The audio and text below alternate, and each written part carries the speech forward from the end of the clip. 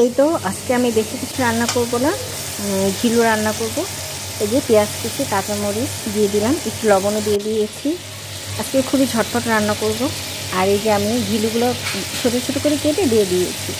এখন আমি যে হলুদ পরিমাণ মতো, আর সামান্য একটু কালারের জন্য আমি শুকনো মরিচের গুঁড়া দিয়ে দিলাম। এখন আমি এটাকে ভালোভাবে মিক্স করে নিব।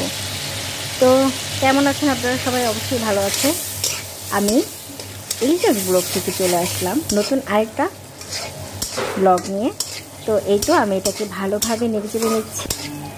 এই তো আমি এখন এটাকে ভালোভাবে নেড়ে, আর আমি জিরা গুঁড়া দিতে ভুলে গিয়েছি, এই যে আমি জিরা গুঁড়া দিয়ে দিলাম। এই তো, এখন আমি আর কিচ্ছু দিব না, এইটা আমার এভাবে রান্না হয়ে যাবে।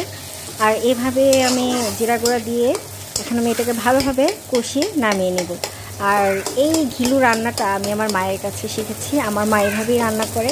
অনেকেই আদা বাটা, রসুন বাটা অনেক কিছুই দেয় বাট আমার ওইভাবে খেতে ভালো লাগে না। গরম মশলা দেয় বাট এইভাবে খেয়ে দেখবেন, সেটার মজাটা কিন্তু অন্যরকম। এই তো আমার রান্না হয়ে গেছে।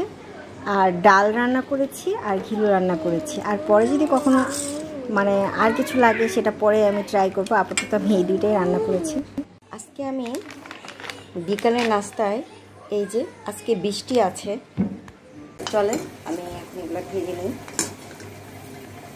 আমি পাঁপড় বের করে নিয়েছি। দেখুন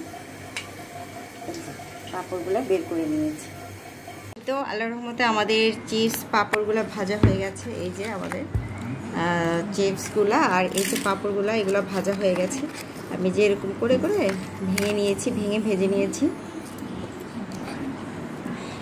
আবার আমার বাবা অনেক খুশি হয়েছে। বাবা, কেমন লাগছে? চিপগুলো মজা? হুম?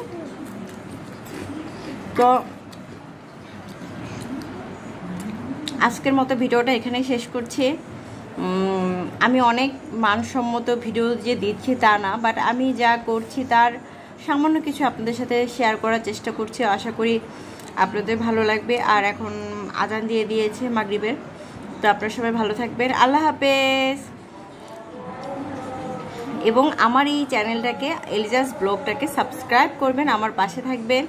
এবং আমাকে, আমার ছেলেকে আমাদের জন্য দোয়া করবেন। আমার অনেক ঠান্ডা লেগেছে, আমার ঠান্ডায় মাথা ব্যথা করছে।